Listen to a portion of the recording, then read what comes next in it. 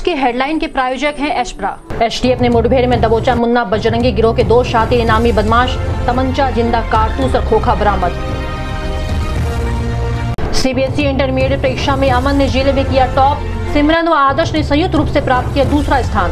तीसरे स्थान पर रहे सृजन व हर्ष प्रकाश।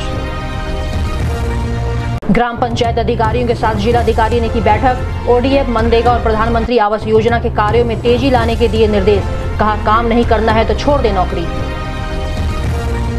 मोदी सरकार के चार वर्ष पूरे होने पर महानगर भारतीय जनता पार्टी के प्रबुद्ध वर्ग द्वारा आयोजित हुआ सम्मेलन, वक्ताओं ने मोदी सरकार के कार्य को गिनाते हुए की प्रशंसा।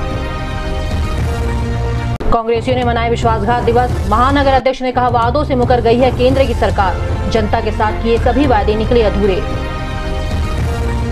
मारवाड़ इंटर कॉलेज में आयोजित हुई 27 मई को आयोजित होने वाली सहायक अध्यापक भर्ती परीक्षा की तैयारी बैठक। केंद्र व्यवस्थापकों को दिए गए उचित दिशा निर्देश। विभिन्न मांगों को लेकर ग्रामीण डाक सेवक संघ के कर्मचारियों ने पाँचवें दिन भी जारी रखा अनिश्चितकालीन हड़ताल। उच्च प्राथमिक विद्यालयों में बीपीएल धारकों की भर्ती किए जाने की मांग को लेकर प्रशिक्षित शारीरिक शिक्षक संघर्ष मोर्चा के सदस्यों ने आरंभ किया अनिश्चितकालीन धरना। सड़क पर उतरे टेलीनॉर मोबाइल कंपनी के बेरोजगार युवक रोज़गार की मांग को लेकर की नारेबाजी।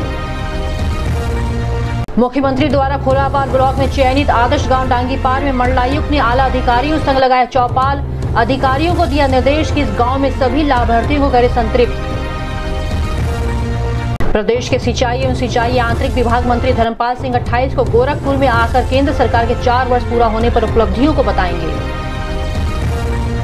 जिला अस्पताल के फार्मेसिस्ट भूपेंद्र सिंह ने दिखाई मानवता, स्वयं के खर्चे में किया ओपीडी, परिसर निःशुल्क पानी और गुड़ की व्यवस्था। और उनतीसवीं जिला स्तरीय गोपाल की स्मारक बैडमिंटन प्रतियोगिता में बढ़ चढ़कर हिस्सा ले रहे हैं सभी आयु वर्ग के खिलाड़ी।